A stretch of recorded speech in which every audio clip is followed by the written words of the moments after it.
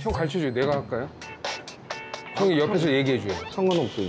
내가 이거 빼, 빼는 게 나아요. 형 스타일대로 배우고. 프라이팬 기름 칠 한번 하고. 기름? 네.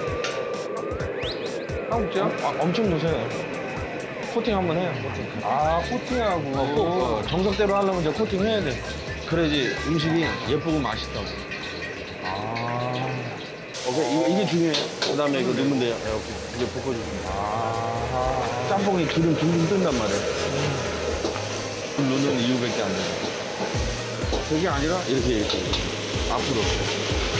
살짝, 살짝. 갔다 왔다, 갔다 왔다.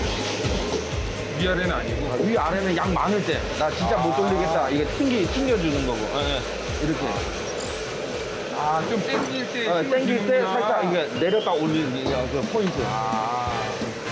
더 넣으세요. 더, 더, 더. 고춧가루 살짝 깨뜨리고.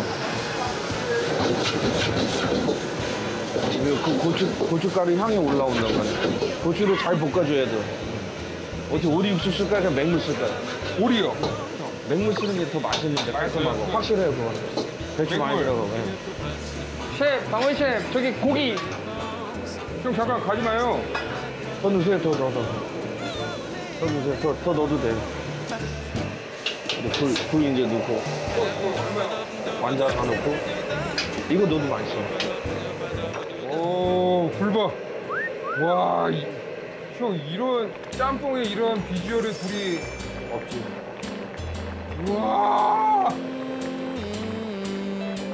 식사하세요. 아, 짬뽕으로. 식사하세요. 안녕하세요.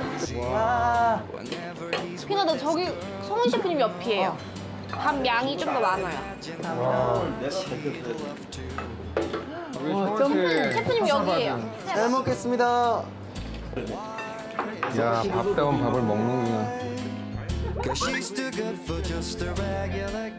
여기 동태살 옛날. 와, 시원하게 깔끔하다. 동태 완자 두 분을.